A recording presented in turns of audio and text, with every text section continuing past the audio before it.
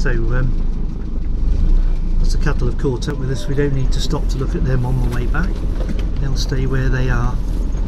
And uh, I reckon what's likely is the territorial might be a TA thing on this weekend here at this airfield. We'll have to see. But, um,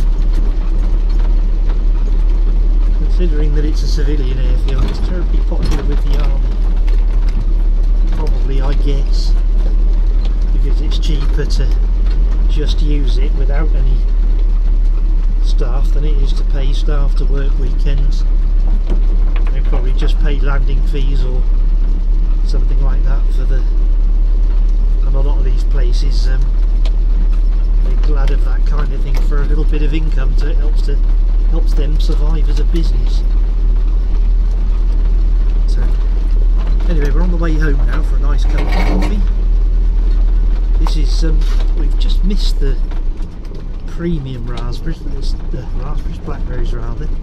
There's still a nice few bunches. Some of them are a little bit grizzly, but um, they look okay to me.